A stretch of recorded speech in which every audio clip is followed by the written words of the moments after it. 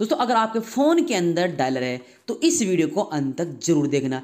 देखो दोस्तों, कुछ इस तरह डायलर आपके फ़ोन के अंदर भी होगा, जहाँ से आप अपनी फ़ोन वगैरह करते हैं, किसी को कॉल वगैरह करते हैं, कोई भी कॉन्टैक्ट या कोई भी नंबर आप डायल करते हैं। लेकिन आपको आज मैं आपके फ़ोन डायलर की एक कमाल की सेटिंग बताने वाला हूँ। दोस्तों, उस सेटिंग को सीखने के बाद आप सभी लोग काफ़ी हैरान हो जाओगे। और अगर कोई भी इस बीच आपका दोस्त इस सेटिंग को देख लेगा तो वो भी काफ़ी हैरान हो जाएगा, क्योंकि इससे आप अपन डॉलर को और भी ज़्यादा खूबसूरत बना सकते हैं, जो कि देखने में यार काफ़ी ज़बरदस्त लगेगा। तो अगर आप लोग भी इस सेटिंग के बारे में सीखना चाहते हैं तो इस वीडियो को अंत तक देखना और स्टेप बाय स्टेप फॉलो करना। लेकिन वीडियो को स्टार्ट करने से पहले एक रिक्वेस्ट करना चाहूँगा, अगर आपको ये वीडियो अच्छी लगे तो प्लीज़ यार एक बार वीडियो को लाइक ज़रूर कर देना। चैनल को सब्सक्राइब नहीं किया है, सब्सक्राइब करने के बाद इस घंटी को ज़रूर दबाना ताकि मैं जो भी वीडियो अपलोड करूँ, उसकी नोटिफिकेशन आपको मिल पाए। फिर आप नीचे और यहाँ पर आप एक छोटा सा कमेंट टाइप कर दीजिए। यहाँ पर आप टाइप कर दीजिए फ़ोन डायलर दोस्तों, ये छोटी सी, ये आप टाइप कर दिए यहाँ पर फ़ोन सेटिंग ये छोटा सा कमेंट आप टाइप कीजिए और इस कमेंट को आप सेंड कर दीजिए। तो चलिए अब हम आगे की वीडियो को स्टार्ट करते हैं। तो सबसे पहले आपको एक ऐप डाउनलोड करनी होगी। लिंक आपको उस ऐप का वीडियो के डिस्क्रिप्शन में मिल जाएगा।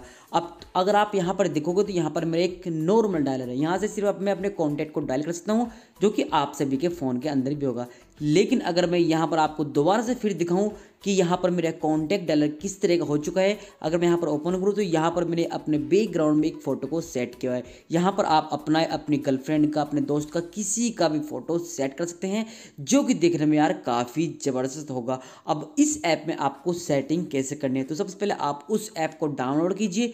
लिंक आपको वीडियो के डिस्क्रिप्शन में मिल जाएगा। तो जैसे आप ऐप को ओपन करोगे तो ऐप का नाम आपको डाउनलोड होने के बाद कुछ इस तरह से मिल जाएगा। अब यहाँ पर आपको सबसे पहले सेटिंग वाली ऑप्शन पर जाना है और इसके बाद आपको थ्री डॉट मिलेगी। यहाँ पर आप क्लिक कीजिए, फिर जानिए आप सेटिंग के ऑप्शन पर। अब इसके बाद आपको मिलेगा पर्सनलाइज सेटिंग तो यहाँ पर आप क्लिक कर देना। अब इसके बाद आपको यहाँ पर जाएगा डायल पैड बैकग्राउंड अब यहाँ पर आप क्लिक कर देना।